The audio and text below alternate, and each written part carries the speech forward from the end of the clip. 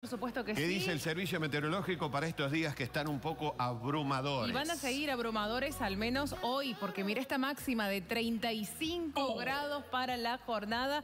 Ya está caluroso, ya está pesado, porque a esta hora tenemos 26 grados 6 décimos.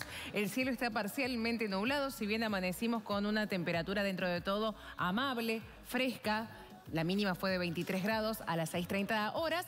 Ya a esta hora alcanzamos casi los 27 grados. Cielo parcialmente nublado, viento del noreste a 12 kilómetros por hora. Hay anuncios por probabilidad de tormentas. Vamos a ver qué es lo que ocurre a lo largo del día. Vamos al extendido para ver cómo continuará el martes, miércoles y el jueves. También en rojo vivo las temperaturas con martes máxima de 33 grados, cielo parcialmente nublado y si observamos el extendido no hay pronóstico de lluvia.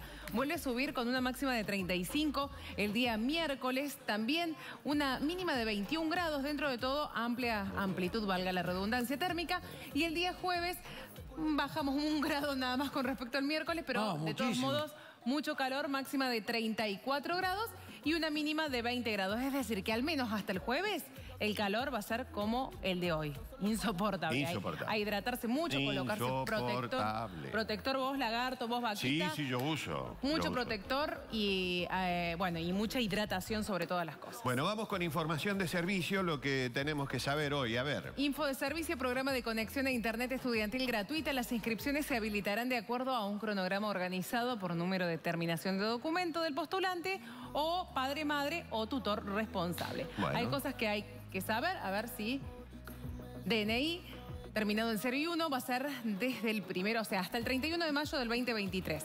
DNI terminados en 2, 3 y 4, del 6 de marzo al 31 de mayo de 2023.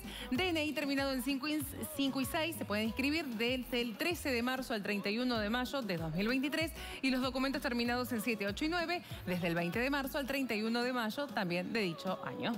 Bueno, muy bien. Seguimos con más información. A ver. Para los estudiantes del nivel universitario y terciario, las inscripciones van a abrir a partir del primero de abril hasta el 31 de mayo, por lo que quienes se inscriban durante el mes de abril van a percibir el beneficio a partir del mes siguiente, es decir, de mayo. Bien, seguimos.